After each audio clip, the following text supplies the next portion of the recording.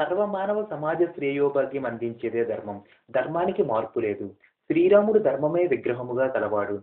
వేదాల్లో పూర్వభాగం ధర్మం ఉత్తర భాగం బ్రహ్మం. మానవునికి జ్ఞానము కన్ను లాంటిది ధర్మము కాలు లాంటిది సత్యము ధర్మము జ్ఞానానికి రెండు వైపుల లాంటివి. బాహ్య జీవితములో ఆచరించిన ధర్మమే మానవునికి చేతి కర్రవలె శరీరాన్ని వీడి ప్రయాణము చేయుచున్నప్పుడు సహాయము చేయునని కాళిదాసు చక్కగా చెప్పారు. అంతఃపురాన ఉద్యోగించేవాడు కంచుకి. ఆతడు ఉద్యోగములో ఉన్నంత కాలం అవసరం ఉన్నా లేకపోయినా చేతిలో కర్రను ధరించి తిరిగెను. ఉద్యోగ విరమణ తరువాత ఆతడు వృద్ధుడై కర్ర అవసరమై పట్టుకున్నాడు. అందువలన మనము ధర్మము గావిస్తున్నప్పుడే ఫలము రాలేదనుకోరాదు. ఒకప్పుడు ఈ శరీరాన్ని విడిచి మహాప్రస్థానము చేయుచున్నప్పుడు మనలను ధర్మమే రక్షించును. ధర్మం ఎరుగుట కాదు ధర్మం ఆచరించాలి. అలా ధర్మం ఆచరించిననే జ్ఞానము కుదురును. జ్ఞానముతో ధర్మం ఆచరించిన అది మనల ఆనందధామానికి చేర్చును. ధర్మము రెండు విధాలు. సామాన్య ధర్మము. సమాజంలో తన తోటివారు ఆనందం అందినట్లు తాను కూడా ఆనందం పొందినట్లు ప్రవర్తించటమే లౌకిక ధర్మము. విశేష ధర్మము. జీవుడు అజ్ఞానము వలన జన్మ మృత్యువులను పొందుతూ దాని నుండి విడివడి ప్రమానంద మార్గం వెతుకున్నది. అందుకే వేదం సత్యం వద ధర్మం చర అన్నది. అటువంటి సామాన్య ధర్మం విశేష ధర్మం రెండూ ప్రజలకు తెలిపి వారిచే ఆచరింప చేయటానికే బాబా ఆంతర్యామ నుండి దిగివచ్చారు. ఒక బ్రాహ్మణుడు బాబా ముస్లిం అన్న సందేహముతోనే ధన సహాయం అర్థించాడు బాబా కొంతసేపు అతని మాటలను వినలేదు. చివరకు ఒక కాగితపు పొట్లమిచ్చి దీనిని మీ గృహానికి తీసుకుని పోయి తినండి. మార్గములో మాత్రం విప్పవద్దు అని బాబా తెలిపారు.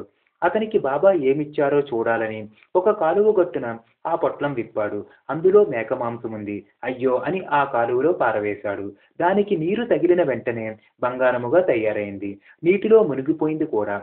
కాలువలో పైపంచ పిండుకోగా దానిలో సన్నని బంగారము కానవచ్చింది. నిరాశకు లోనయ్యాడు. మహాగురువుని విశ్వసించి త్రికరణ శుద్ధిగా ఆతనిని ఆరాధించే వారికి ఇల్లంతా బంగారమే. నిత్య జీవితంలో మనోనిగ్రహం కలవారికే ఉపవాసం మంచిది. మిగిలిన వారికి ఉపవాసం అనవసరమన్నారు బాబా.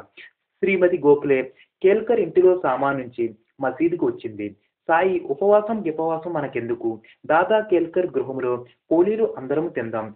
అతని బిడ్డలు తినాలి. అన్నారు. అదే సమయాన అతని భార్య ఇంటిలోనికి రాకూడదు. అందుచేత శ్రీమతి గోఖలే ఆ ఇంటిలో వంట చేసి వారికి పెట్టి తాను కూడా తినవలసి వచ్చింది. ఆమె సిరిడిలో మూడు రోజులు ఉపవాసం చేయాలనుకున్నది. దీక్షిత్ జీవితం అంతా రాత్రి ఉపవాసాలతో గడపాలనుకుని మసీదుకు చేరాడు. వెంటనే బాబా ఈ రాత్రి భోజనానికి ఏమి చేస్తావయ్యా అన్నారు. తమరేది చేయమంటే అదే అన్నాడు దీక్షిత్. మామూలుగానే రొట్టెలు కూరలు చేయించి నివేదన చేసి నీవు తిను అన్నారు. బాబా ఈ రోజు మీరు చెప్పినట్లే చేసి రేపు మాత్రం ఉపవసిస్తానన్నాడు. అప్పుడేమీ అనలేదు. చివరకు దీక్షిత్ ఆ దీక్షను విరమించుకున్నాడు. అందరూ హారతికి ముందుగా మసీదుకు పోగా బలవంతనాచార్యును భోజనం చేసి రమ్మన్నారు బాబా. ఆ రోజు ఏకాదశి కూడా. వీరందరూ ఉపవాసాలు చేస్తే తాను తిననన్నాడు. అతని సహచరులను చూసి మీరైనా భోజనాలు గావించి రండయ్యా అన్నారు బాబా. వంటవాడు హారతి తర్వాత గాని భోజనం పెట్టనన్నాడు. మరలా అందరూ మసీదు చేరారు. భోజనానంతరమే హారతి జరుగునన్నారు బాబా. వంటవాడు తప్పనిసరిగా వడ్డించాడు. నాచే భోంచేసి తాంబూలం కూడా వేసుకుంటే గాని సాయి విడవలేదు. ద్వారకాలో ఎన్నో కోట్ల మంది యాదవులు ఉండేవారని శ్రీరామునికి అద్భుతాలు వానరసేన సహాయం చేశారని రాశారు. అది నిజమేనా? అని శ్యామ అడిగితే నిజమే అన్నారు బాబా. శ్యామ మీరొకడు చూచినట్లు చెప్పుచున్నారనగా చూచాను. నాకు నీకు ఎన్నో జన్మలయ్యాయి. నీకు జ్ఞాపకం లేదు. నాకుంది. ఇంతే తేడా అన్నారు బాబా. విడవకుండా శ్యామ త్రిమూర్తుల లోకాలన్నీ ఉన్న మాట నిజమేనా అని అడగ్గా. నీ కన్నులు మూసుకోమన్నారు బాబా. శ్యామకు బ్రహ్మలోకంలో బ్రహ్మను వైకుంఠాన శ్రీ విష్ణువును చూపి మనం వీటన్నిటికన్నా పైకి వెళ్ళాలని బాబా అన్నారు.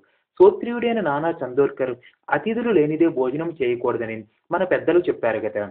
రోజు అతిథులు ఎలా దొరుకుతారు బాబా అన్నాడు. అతిథులన్న మనుష్యులే అనుకుంటున్నావు. సర్వ జీవరాశులు మనకు అతిథులే. అందుకే మనం అన్ని జీవులకు ఆతిథ్యాన్ని తప్పక అందించాలి. నీకు నిత్యము కానుపించిన అతిథులను నీవు తెలుసుకొనలేకపోతున్నావంతే. కాక బలి అన్నం బయట పెట్టిరా అన్నారు. బాగా చిక్కుపోయిన మేక మసీదుకు రాగా బడే బాబాను ఆ మేకను చంపమన్నారు బాబా. బడే బాబా కాదని వెళ్ళిపోయాడు. అలాగే శ్యామ దీక్షిత్ను ఆజ్ఞాపించారు. దీక్షిత్ సందేహిస్తూ గురువాజ్ఞగా ఆ మేకను నరకబోవగా వద్దన్నారు బాబా. ఆ మేక నాలుగు అడుగులు ముందుకు వేసిందో లేదో చనిపోయింది. ఆచారవంతుడైన దాదా కెల్కర్ను డబ్బుచ్చి మాంసం తెచ్చిపెట్టమన్నారు. అతడు స్వచ్ఛమైన బ్రాహ్మణుడే అయినా తయారయ్యాడు. బాబా వద్దన్నారు. తాను వంట చేస్తూ ఈ మాంసం పొలావ్ రుచి చూడమన్నారు. చాలా రుచిగా ఉందన్నాడు తినకుండానే. అతడు మూత తీసి చూస్తే అది అమృతమయమైన పాయాసాన్నమైంది. ఇలా బాబా భక్తులకు తన లీలలను చూపించేవారు. ఒక ముస్లిం తనకు సంతానం కలిగిన తరువాత షిరిడీలో మిఠాయి పంచుతానన్నాడు. అలాగే సంతానాన్ని పొందాడు అతడు బాబా అనుమతి కోరగా మారుతి దేవాలయంలో పంచమనగా అతడు ఆశ్చర్యపోయాడు.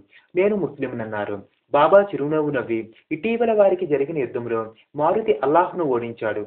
నువ్వు ఏమి ముస్లిమురా పో ఆలయంలో మిఠాయి పంచు అన్నారు కోపముతో. భగవానునికి మతభేదం ఏముంటుంది నిజాం రాష్ట్రం నుంచి వచ్చిన ముస్లిం మతమనుజుడు మసీదులో హోమమా ఈ గంటలేమి? అల్లా మేము క్షమిస్తాడా? అన్నారు. బాబా మహాకోపముతో నీవు అసలు ముస్లింవా? అన్నారు. ఖురాను నీకు తెలుసా? ముస్లిములే దేవుని బిడ్డల తక్కినవారు కారా? భగవంతునికి సమానత్వం నిరూపించేవాడే ముస్లిం అని బాబా గర్దించారు అలా సాయంత్రం వరకు మసీదు ముందు పచార్లు చేసి బాబాకు నమస్కరించి అనుగ్రహింపమని అర్థించాడు. నాలుగు రోజులు అతని తన దగ్గర ఉంచుకొని ఆశీర్వదించి బాబా పంపారు. ఎవరైనా తన మతాన్ని మార్చుకోవడం కన్నా పాపం లేదనేవారు బాబా. ఒక హిందూ పిల్లవాని ముస్లిం మతానికి మార్చి బడే బాబా సంతోషంతో అతన్ని తీసుకొచ్చి సాయికి చూపించాడు. మహాకోపంతో ఆ పిల్లవాని దవడపై కొట్టి నీ తల్లిని తండ్రిని మార్చుకుంటావా బడవా అని గర్దించారు మతాన్ని ఈ హిందువులు మార్చి మసీదును పాడు పాడునరించుచున్నారని ఒక పఠాను మసీదులో గల హిందువులను చంపుతానన్నాడు. వారిని అందరినీ చంపడం దేనికి? నాదే తప్పు. అన్నే చంపు అన్నారు. బాబా అతి ప్రశాంతముగా వేరొక పఠాన్ సాయిని చంపడానికి పెద్ద కర్ర పట్టుకుని చెయ్యెత్తాడు అంతే. బాబా వారి చేయి తాకేసరికి వాడు కుప్పగా కూలిపోయాడు. మంచివారైతే ముస్లిం భక్తులను రానిచ్చేవారు. ఒక ముస్లిం చాలాసార్లు మక్కా యాత్ర గావించి షిరిడీ వచ్చాడు. వాడిని కొన్ని మాసాలైనా మసీదులోనికి రానియలేదు బాబా. నలభై వేలు ఇస్తాడా అని శ్యామాతో వర్తమానం గావించిన వాడిని అడిగితే శ్యామ నలభై లక్షలైనా ఇస్తానన్నాడు. చివరకు బాబా వారి మట్టి కుండలో రొట్టె ముక్క చాలునన్నాడు హజీ. అది విని బాబా ఓరి మూర్ఖురా ఇచ్చటున్న వారు ఎవరనుకున్నావురా నీకు ఖురాన్ ఇదే చెప్పిందా? హజీ వణికిపోయాడు. బాబా మసీదుకు వచ్చి పండ్లు కొని హజీకి పంపి యాభై రూపాయలు కూడా ఇచ్చారు. అప్పుడు మసీదుకు రావడానికి బాబా అతనికి అగ్ని ఇచ్చారు.